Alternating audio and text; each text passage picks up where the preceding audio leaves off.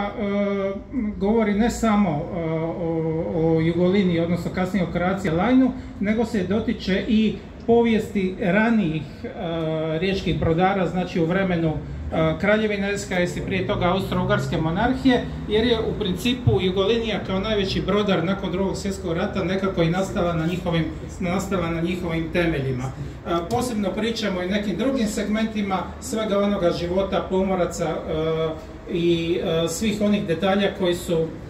na koje je Jugolinija u ovom našem gradu stvari e, davala težište i